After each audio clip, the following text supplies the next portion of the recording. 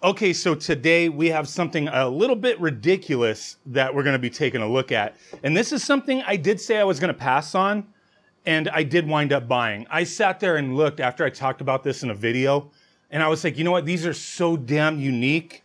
I'm just going to pull the trigger. These are from 8BitDo's like 11th anniversary sale that they had going on, and they put up these limited edition all metal controllers. They had a silver and a gold edition.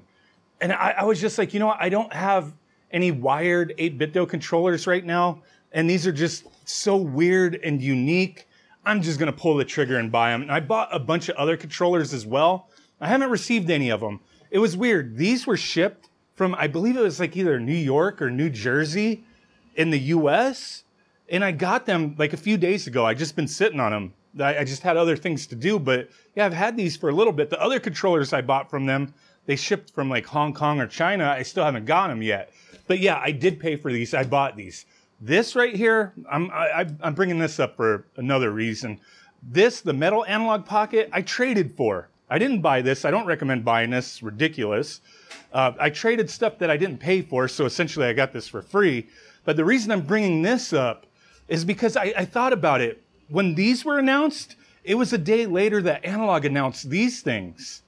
It's a weird coincidence, but the reason I bring that up is because Analogue and 8BitDo, they're like, they're, they're together. They're, they're almost the same company. I, I don't know. Not really, but 8BitDo, their CMO is Analogue's CEO. So they're, they're so damn tight. I don't know. Maybe they planned that or something. Maybe these go like very well with the uh, stupid metal Analogue Pockets. I, I don't recommend buying now those things. 500, that's freaking stupid. These were expensive, but nowhere near that. But I, I, don't know. These things are neat, man. They look neat. I haven't opened them or looked at them yet, but um, I, yeah, I was like, you know what? Screw it. We're gonna check these out. I'll probably tear one down as well. Take a look at the uh, construction of these things. But yeah, let's kind of change the angle a little bit and take a closer look. So silver and gold, these things like man, right after I like they put these up, they sold out. They sold out like right away. I didn't I don't even know how many they made. Look at that. Look at the presentation. Even though there's like these weird creases in the the box on the inside, I didn't even know it was like to be I thought this was just to open up, but no. Like kind of like a jewelry box. Like that is cool. Oh my god, everything except for yeah, like the the uh, select and start, those are not metal, but everything else is metal. Oh my god. Holy crap. This is a freaking this is a heavy ass controller, dude. This is not going to be practical. This is dope though. Oh my god, like there's like black stuff on the cable, probably from whatever the foam in there. This is freaking heavy, dude. Oh my god, they have like Torx screws in there. Uh, designed by Guowo. Do you see that? Oh my god, it's so shiny. Shenzhen 1BitDo Tech Co. This thing is beastly heavy, dude. The D-pad is metal, the analog sticks are metal. This feels freaking nice though. Holy crap.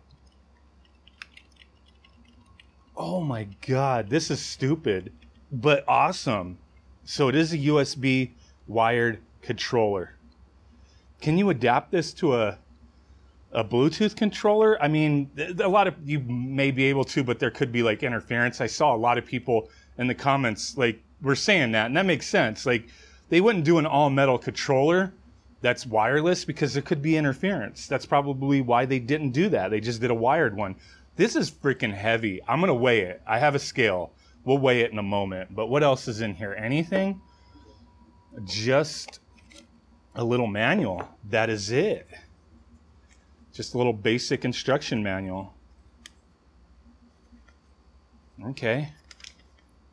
Just multi-language instruction manual. But man, this Look at this. This is nice, dude. I, am being honest. I'm I'm glad I bought these. I know I said I was gonna pass on it. I said they look cool, but I thought they were expensive. These are hundred dollars each.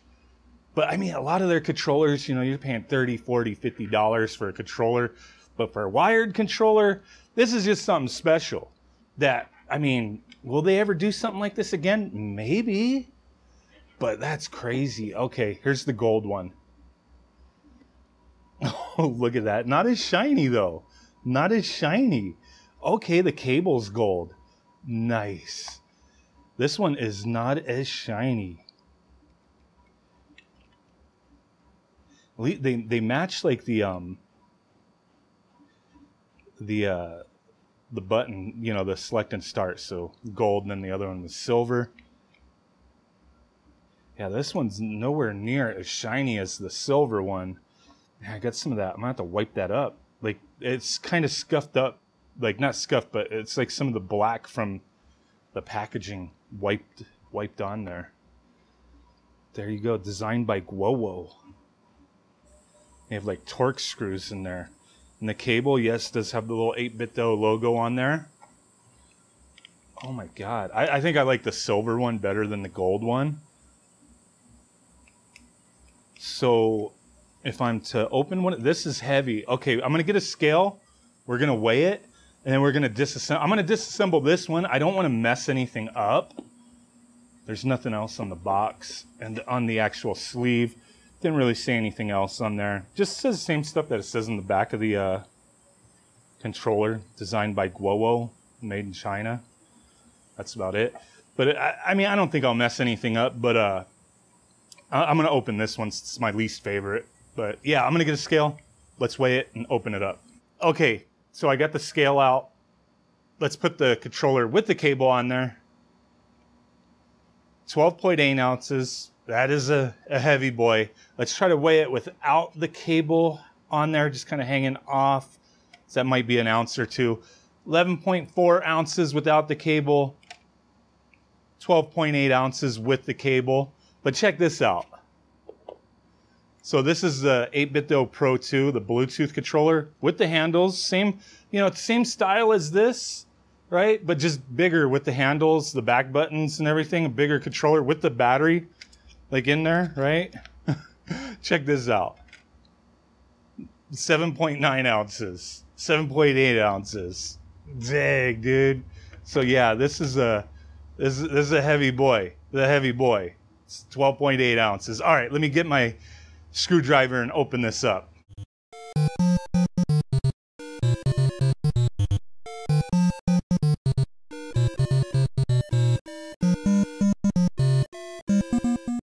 Okay, so there we go. It was a uh, T6 Torx bit to open this up. Let's see what she looks like on the inside. Okay. So we got our little rumble motors on the side there. This is uh, the other half of the shell. Okay. So we are going to have to go a little deeper. Some screws there.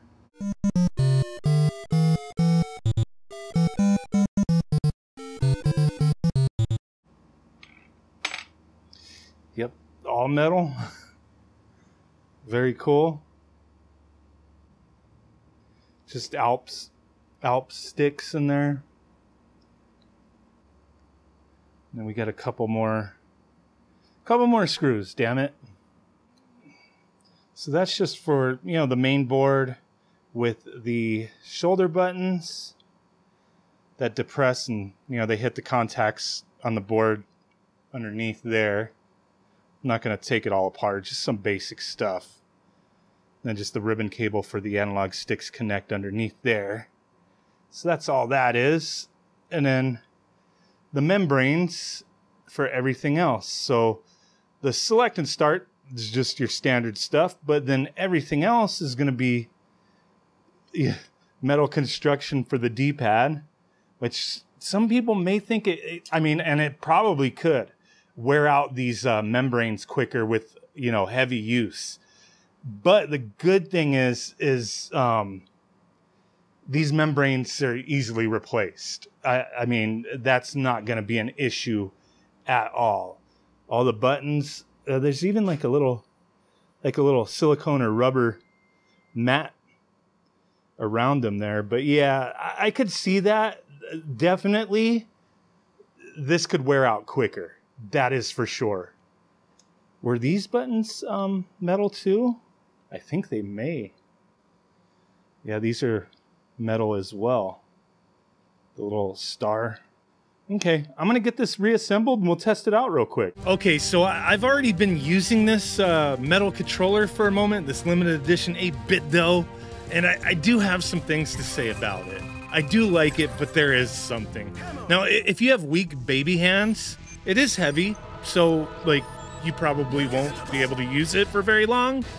So if you have one on on its way to you, you know, keep that in mind. Or if you look for one on the secondary market, or if they do these again, yeah, they are heavy.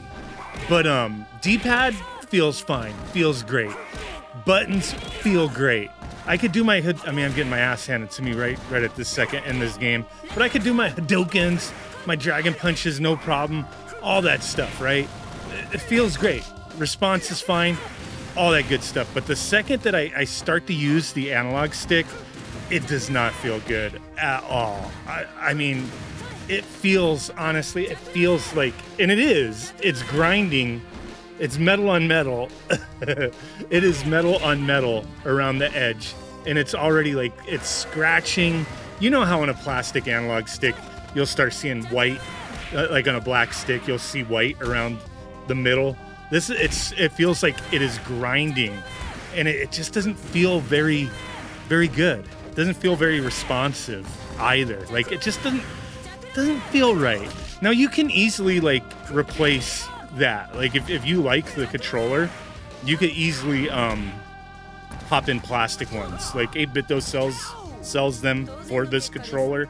You could do that. Um, you know, that's fine. It'll work. But yeah, the metal on metal, it feels so freaking bad. But everything else about it feels great the D-pad, the buttons, the, the shoulder buttons, the weight. Yeah, it is it is heavy, but it actually feels pretty nice. Just the analog sticks, I can't use them. I just can't. Like I want to use this controller because it just it feels so nice. It really does. It's so cool. It's unique, but the analog sticks, it's this is more uh, like it's more of a collectible, uh, just something unique in your collection. I really like wish I hadn't used it the little bit that I did because it, it grinded away. I'll try to take some close ups. So I've only used, I played one match before I started recording. Um, but I'll, I'll, try to take some close ups. You could see where it, it grinded down, you know, from the, the coating and it's kind of shiny like a, a ring around. It, it just, and it feels, it feels bad. Like when you're going around, it feels, it's grinding. It's grinding. That's it. Analog sticks suck. Put the plastic ones in if you got this controller, if you get one. Swap them out. Put these on the side or put it on display if you just don't ever want to use it. I don't know. But yeah, there you go. Those are my thoughts. Cool. Looks awesome. Analog sticks, no. Appreciate you guys. Thanks for watching. Bye.